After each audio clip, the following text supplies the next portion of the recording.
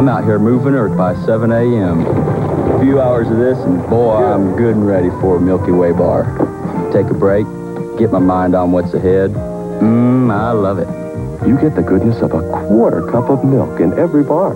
There's milk, natural cane and corn sugars, and thick, thick chocolate in the Milky Way bar. Boy, that Milky Way's great. Life doesn't stop when the workday's done. Milky Way day helps you work, rest, and.